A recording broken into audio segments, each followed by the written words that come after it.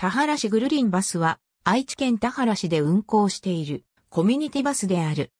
田原中部市民館バス停、田原中部市民館バス停、南海トラフ巨大地震による津波浸水が想定される地域のバス停では、土台部分等に海抜や避難場所が表示されている、豊橋鉄道厚見線及び、豊鉄バス、伊良子本線、伊良子支線を保管するために運営している。田原町時代に運行を開始し、赤羽町、厚見町合併後、旧二町の地域にも運行されている。田原市が事業主体で、民間事業者が運行主体である。年末年始を含め毎日運行。ただし、気象条件などにより臨時運休する場合がある。路線によって運賃体系が異なる。市街地線道浦線、サンテパルク線氷浜線中山線過去の路線2015年9月、以前の路線2015年10月から2017年3月の路線市街地バスグルリンバス地域乗り合いタクシー2017年4月から2018年9月の路線グルリンバスグルリンミニバス2018年10月から2019年9月の路線グルリンバスグルリンミニバスグルリンバスの車両、グルリンバスの各路線は大型、または中型バスで、グルリンミニバスの各路線は9人乗りワゴン車両で運行される。なお2018年12月からグルリンバスにおいて田原市産の花のデザインを施した花バスサーフィンのデザインを施した海バスの2種類のラッピング車両が運行している。田原市内に住民登録している70歳以上の高齢者が2017年4月1日以降に警察へ運転免許証を自主返納した際に支給される。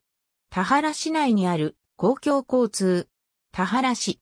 2018年6月23日閲覧。田原市ぐるりんバスのご利用案内。田原市。2020年3月21日閲覧。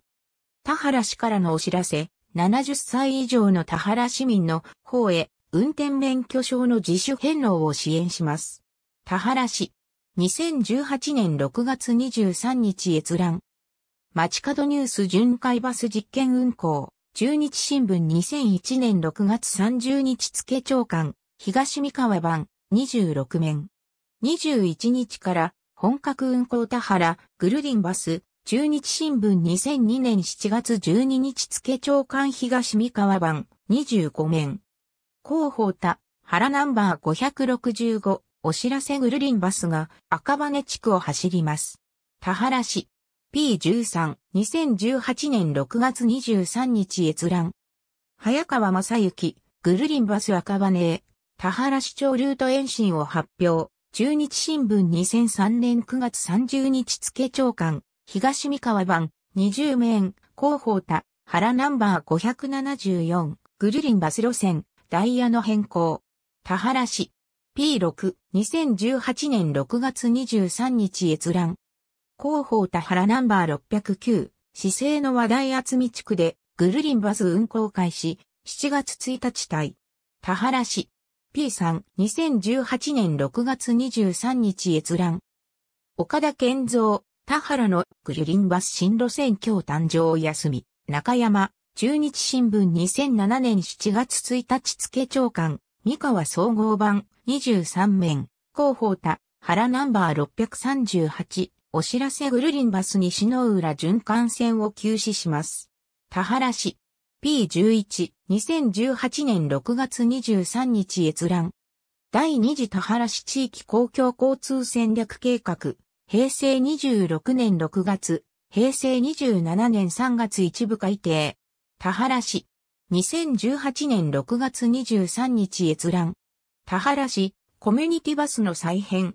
田原市、2018年6月20日閲覧。各の主義や、田原、グルリンバス明日再編バス停は、増、一部値上げ、中日新聞2015年9月30日付長官、東三河版、20面。田原市グルリンバスの路線、ダイヤが変わります。田原市、2018年6月20日閲覧。広報田、原ナンバー836、田、原トピックス10月1日からグルリンバスの運行内容が変わります。田原市。P7、2020年3月18日閲覧。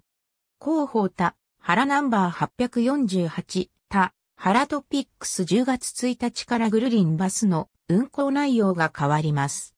田原市。P5、2020年3月18日閲覧。第48回田原市地域公共交通会議資料1、田原市グルリンバス新車両について、田原市、2020年3月21日閲覧。ありがとうございます。